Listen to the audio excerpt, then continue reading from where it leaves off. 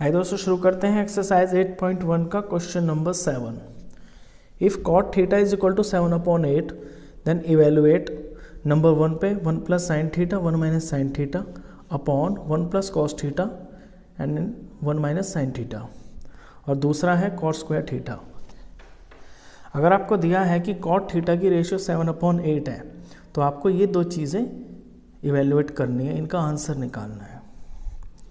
तो दोस्तों, सबसे पहले तो इसके अंदर एक ट्राइंगल बना लेते हैं। राइट ट्राइंगल और इसका मैं नाम दे देता हूँ। A B C right triangle at B अब यहाँ पे थीटा है तो मैं यहाँ पे थीटा ले लेता हूँ। अब जहाँ पे थीटा होता है, उससे जो जुड़ी हुई लाइन होती है, वो होती है इसके अंदर बेस तो यहाँ पे इस फिगर के अंदर मेरा बेस हो जाता है ए बी और इससे दूसरी वाली लाइन जो 90 डिग्री का एंगल बनाती है, वो हो जाती है परपेंडिकुलर तो परपेंडिकुलर इसमें बी सी हो गया। हाइपोटेन्यूज होती हमेशा वही है। 90 एंगल के सामने वाली जो सबसे लॉन्गेस्ट साइड होती है, वो आपका हाइपोटेन्यूज होती है। ये किसी केस में चेंज नहीं होती है, लेकिन बेस और परपेंडिकुलर अपने एंगल की वजह से चेंज हो जाते हैं। अगर ये थीटा मेरा यहाँ पे होता तो फिर मेरा बेस ये बन जाता।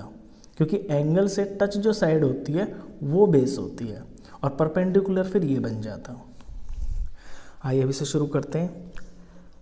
तो cot theta is equal to seven upon eight अब कॉट की रेशियो क्या होती है, वो निकलेगा आपके इस मंत्र से।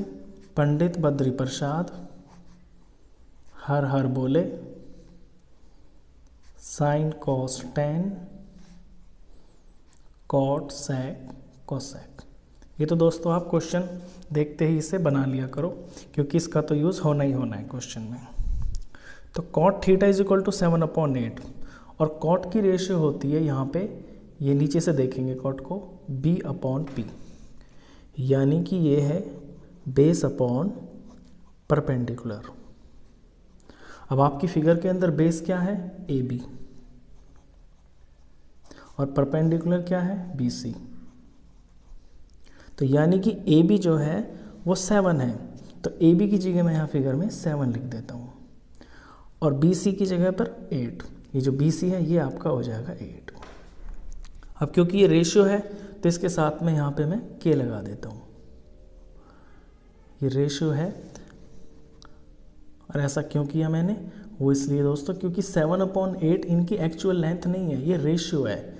या कुछ और भी हो सकता है, जैसे सेवन थ्री ज़ा ट्वेंटी वन एट थ्री ज़ा ट्वेंटी फोर तो ये ट्वेंटी वन और ट्वेंटी फोर हो सकती है इनकी लेंथ तो ये कटने के बाद शायद सेवन अपॉन एट आ गया हो, इस तरह से कुछ भी हो सकता है। तो इनके पास में कोई ना कोई मल्टीपल ज़रूर होगा, उसकी जगह पे ये के लगाया जाता है। तो यहाँ पे सेवन के और एट के मैंने लगा लिया। अब इस फिगर के अंदर आपको एक साइड अननोन है तो क्वेश्चन सबसे पहले तो इस साइड को ही निकालना पड़ेगा। उसी के आगे फिर ये क्वेश्चन होगा। और ये निकलेगी आपकी पाइथागोरस थ्योरम से। तो बाय पाइथागोरस थ्योरम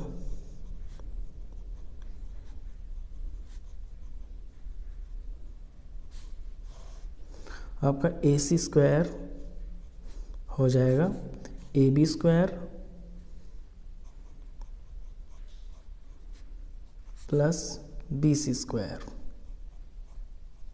यही होती है दोस्तों पाइथागोरस थ्योरम, कि सबसे लॉन्गेस्ट साइड जो होती है राइट ट्राइंगल में, उसका स्क्वायर बाकी की इन दो साइडों के स्क्वायर के सम के बराबर होता है, जिन्हें परपेंडिकुलर और बेस भी बोलते हैं।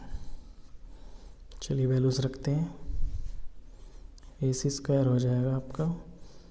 ए बी की वैल्यू सेवन के स्क्वायर बी सी की वैल्यू एट के एट के का स्क्वायर नेक्स्ट स्टेप में A C square is equal to seven seven ज़ा फोर्टी नाइन फोर्टी नाइन के स्क्वायर एट एट ज़ा सिक्सटी फोर और के का स्क्वायर नेक्स्ट में A C square is equal to forty nine और सिक्सटी फोर ये हो जाता है आपका one hundred thirteen one hundred thirteen और के स्क्वायर अब ए सी की वैल्यू अगर निकालनी है तो ये जो स्क्वायर है ये इस तरफ़ आके आपका स्क्वायर रूट लग जाएगा। तो 113 के स्क्वायर के ऊपर ये आपका स्क्वायर रूट हो जाएगा।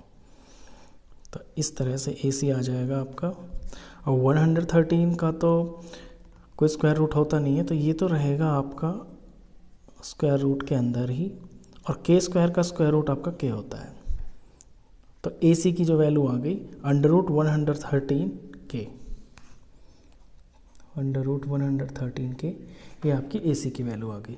अब आपको ट्राइंगल में तीनों साइड्स पता हैं। अब जिसकी भी आप वैल्यू निकालना चाहें, वो आप निकाल सकते हैं। तो सबसे पहले तो आपको यहाँ निकालना है, ये दिया हुआ है नंबर वन पे। इसकी वैल्यू आपको निकालनी है। चलिए इसे लिखते हैं पहले। फ़र्स्ट में आपको निकालना है one plus sine theta one minus sine theta upon one plus cos theta, one minus cos theta. इसे इवेल्युएट करते हैं। देखिए, one plus one plus sine theta, one minus sine theta. ये आपको दिख रहा होगा कि A plus B A minus B इसके अंदर आइडेंटिटी लग रही है A plus B A minus B की। और A plus B A minus B होता है आपका ए का स्क्वायर माइनस बी का स्क्वायर तो यानी यहाँ ये यह हो जाएगा वन का स्क्वायर माइनस साइन का स्क्वायर इसी तरह से नीचे आइडेंटिटी लग रही है तो ये हो जाएगा आपका वन का स्क्वायर माइनस कॉस का स्क्वायर तो कॉस स्क्वायर थीटा इसे ऐसे लिखेंगे। कभी भी थीटा के ऊपर स्क्वायर नहीं लगाना, ये आपका इसकी रेशियो के नाम के ऊपर स्क्वायर लगता है। आगे इसे फर्दर एवेल्यूएट करेंगे तो वन का स्क्वायर तो वन ही होता है। और साइन की वैल्यू अब आपको साइन की वैल्यू चाहिए तो पहले साइन की वैल्यू निकाल लेते हैं। साइन थीटा की। तो साइन थीटा आपका हो जाएगा साइन की रेशियो होती है पी अपॉन एच यानी परपेंडिकुलर अपॉन हाइपोटेन्यूज आपकी फिगर के अंदर परपेंडिकुलर है बी सी और हाइपोटेन्यूज है ए सी इनकी वैल्यूज़ बी सी की वैल्यूज़ एट के है और ए सी की value one hundred thirteen under root के तो के से के कट गया।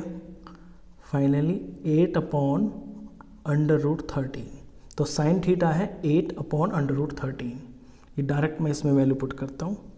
Minus eight one hundred thirteen और इसका स्क्वायर इसी तरह से नीचे one minus cos square theta तो अब कॉस स्क्वायर की भी वैल्यू निकालनी पड़ेगी. कॉस की वैल्यू कॉस थीटा की वैल्यू होती है. कॉस का है आपका बेस अपॉन हाइपोटेन्यूज और आपकी फिगर के अंदर बेस है ए बी और हाइपोटेन्यूज है ए सी ए बी की वैल्यू सेवन के ए सी की value one hundred thirteen root के के से के कट गया seven upon one hundred thirteen under root तो यहाँ पे ये seven upon one hundred thirteen का स्क्वायर आगे फर्दर सॉल्व करते हैं। तो ये आ जाएगा ऊपर आपका वन माइनस एट का स्क्वायर सिक्सटी फोर होता है। एट एट जा सिक्सटी फोर और अंडर रूट का स्क्वायर अंडर रूट हट जाता है, यानी कि ये वन हंड्रेड थर्टीन आ जाएगा। इसी तरह से नीचे वन माइनस सेवन का स्क्वायर फोर्टी नाइन होता है और नीचे ये अंडर रूट और ये स्क्वायर सॉल्व हो जाएँगे तो अंडर रूट आपका हट जाएगा, ये आ गया one hundred thirteen next step करते हैं।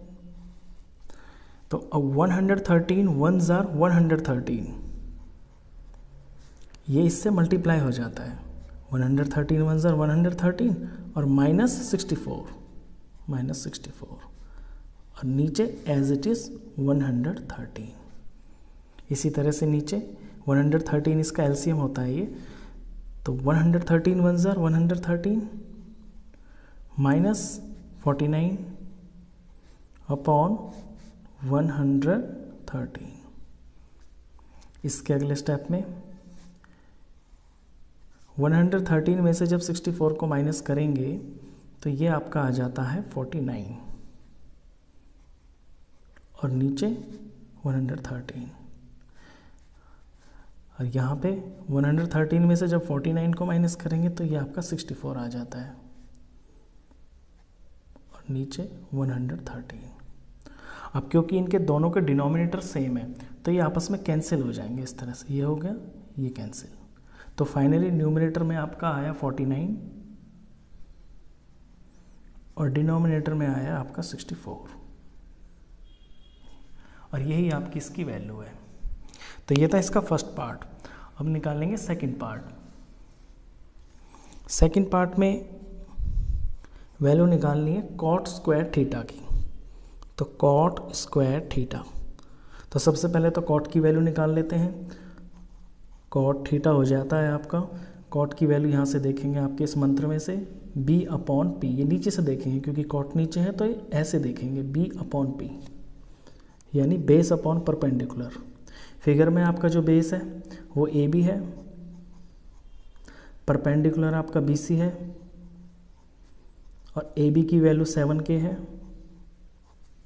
बी सी की वैल्यू एट के है। के से के कट गया। Finally ratio seven upon eight आ गई। तो कॉट थीटा की वैल्यू है सेवन अपॉन एट तो कॉट की जगह सेवन अपॉन एट लिखना है। और क्योंकि इस पर स्क्वायर है रेशियो के ऊपर स्क्वायर है तो इसकी स्क्वायर करना है। तो सेवन का स्क्वायर सेवन सेवन से फोर्टी नाइन और एट का स्क्वायर एट एट से सिक्सटी फोर तो सेकेंड वाले का answer forty nine upon sixty four इस तरह से आपके दोनों आंसर निकल जाते हैं। आई होप आपको ये क्वेश्चन अच्छे से समझ में आया होगा। अगर वीडियो अच्छा लगा हो तो प्लीज़ इसे लाइक कर देना। और टेंथ क्लास का कंप्लीट मैथ्स पढ़ने के लिए आप इस चैनल को भी सब्सक्राइब कर देना। Thank you